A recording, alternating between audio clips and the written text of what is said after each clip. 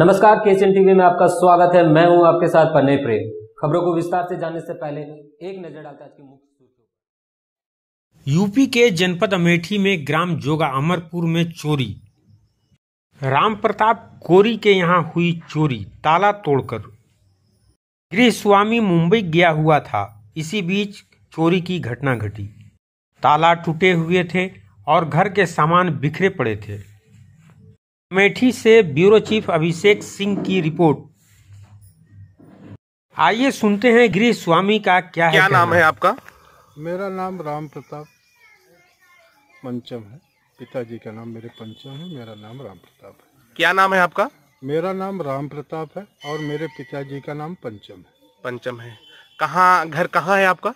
मेरा घर जोगापुर में है अमरपुर जोगा अमरपुर में जोगा अमरपुर जी हाँ। जिला? अमेठी है। जिला अमेठी थाना? थाना संग्रामपुर है। थाना संग्रामपुर है। जी हाँ। क्या वारदात हुई आपके साथ? मेरे साथ ये वारदात हुई कि मैं पाँच तारीख का मेरा रिजर्वेशन था। मैं बॉम्बे गया और 18 तारीख को मैं वापस आया। जब वापस आया तो मेरे घर का दरवाज़ा का ताला मेन दरवाज़ा जो ताला है वो टूटा हुआ मिला। तो घर में हम गए नहीं। सबसे पहले हम 112 नंबर डायल करके बुलाए। तो अब वो लोग आए तब वो उनको बताया कि भाई मेरे घर में चोरी हुई है। फिर उसके साथ साथ में हमारे चौकी प्रभारी भी आ गए। चौकी तो, प्रभारी चौकी कहाँ लगती है आपकी? टीकर माफ़ी। टीकर माफ़ी? जी हाँ। जी जी। तो उसके बाद चौकी प्रभारी आए तो क्या हुआ? तो उन्होंने सब देखा होगा फिर बताया कि आप को जिसके ऊपर शंका हो उसका आप वहाँ पर लिखित में कंप्लेंट यानी दर्ज करवाइए अर्जी दीजिए। तो फिर जिसके ऊपर शंका थी मेरे जितने कागजात थे मेरे स्कूल का सर्टिफिकेट मेरे पत्नी का मृत सर्टिफिकेट मेरी LIC मेरा जो सहारा में इन्वेस्टमेंट किया था वो कोई कागज़ मेरे पास नहीं रह गया। मेरे खेती का जितना भी कागजात था सब ले गए। चोर सारे कागजात उठा ले गए। जी हाँ। और घर में कोई सामान नहीं बचा।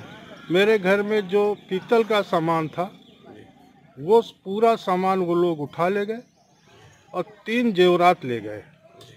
एक मंगलसूत्र है एक पावजेब है और एक पायल है। आपने थाने थाना आपका संग्रामपुर लगता है? जी हाँ। थाने में आपने एफआईआर लिखाई? नहीं वो चौकी इंचार्ज बोले कि मैं आपको एफ़ आई आर का वो अर्जी दे दूँगा यानी उसका कॉपी दे दूँगा आप थाने गए थे कि चौकी गए थे? मैं चौकी गया था चौकी गए थे? जी हाँ। चौकी पे चौकी इंचार्ज क्या बोले? बोले कि आप लिखित कंप्लेंट दीजिए। तो लिखित कंप्लेंट दिया। एफ़ आई आर लिखी गई आपकी कि नहीं लिखी गई? अब वो तो मुझे नहीं मालूम सर। आपको आर आप वहाँ पर एफ़ आई आर लिखाने गए थे कि नहीं गए थे? हम उनसे बोले तो बोले कि मैं उनसे बताया कि सर मेरा वो जो सामान चोरी हुआ है जी। तो मेरी मोटरसाइकिल के कागजात चले गए हैं वो सब कैसे मिलेंगे? तो बोले आपको एफआईआर का कागज़ मिल जाएगा। आपको एफआईआर का कागज़ मिल जाएगा? हाँ। तो हाँ। आपको कोई कोई रसीद कोई कागज़ दिया गया आपको कि नहीं दिया गया चौकी से? जी नहीं अभी कोई कागज़ नहीं दिया। कोई कागज़ नहीं दिया गया? जी। इसका मतलब आपका एफआईआर नहीं लिखा गया? हाँ अब जो हो मुझे इतना नहीं मालूम आपको कोई कोई कागज़ नहीं मिला? जी नहीं।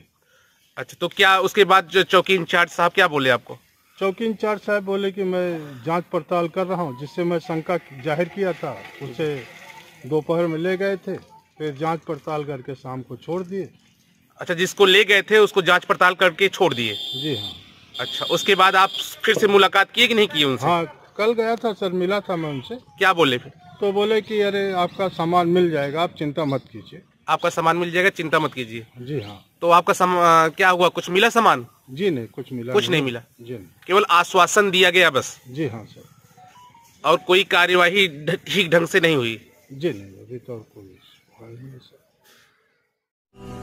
आज के लिए बस इतना ही। केसीएन टीवी चैनल की पूरी टीम को दीजिए इजाज़त। आप बने रहें हमारे साथ हम बने रहेंगे आपके साथ।